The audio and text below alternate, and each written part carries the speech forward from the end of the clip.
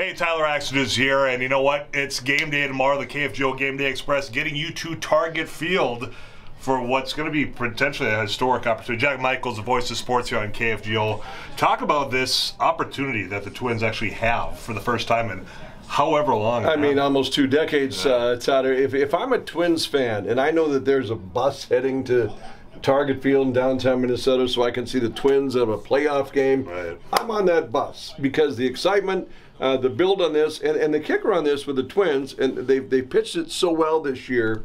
But look at the injuries they've had. You know, you know Royce Lewis dealing with that hamstring, and Carlos Correa and his plantar fasciitis, and we can go. Byron Buxton, of course, has been on the shelf, and through all of that, this Minnesota Twin group has been like this upstart group. It almost takes you back, you know, two, three decades of an upstart Twins team Uh-huh. that, dare I say, well, we won't. But But they've got to get a playoff win, and th- this Yeah. will be a start. They're placing Toronto. Teams have played six times. They've each won three. Uh, the last time these two, these two teams met in the postseason was the first time and only time they met in the postseason, 1991.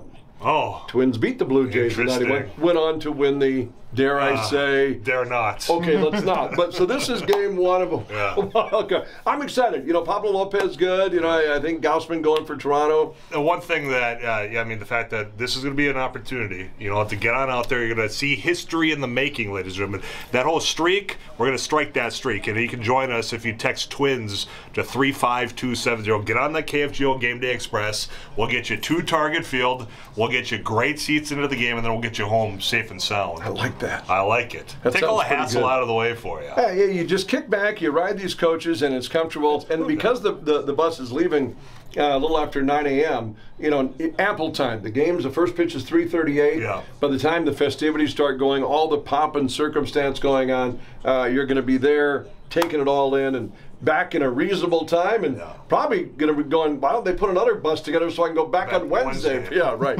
Well, Jack, I appreciate you. Yeah. Telling everybody about the Let's go. significance of this. Let's get on that Plus, bus. you're going to hang with. Tyler Axness. Right, we're going to be heading on down. Possibilities are endless, is what that means. The pride We of. Leeds. Yeah. Hmm. that sign's been down for a long time. Jack Michaels, the voice of sports. Myself, I'm Tyler Axness. Text twins to 35270, and we'll see you tomorrow morning. Buffalo Wild Wings, 9 a.m. That bus leaves, gets you to Target Field.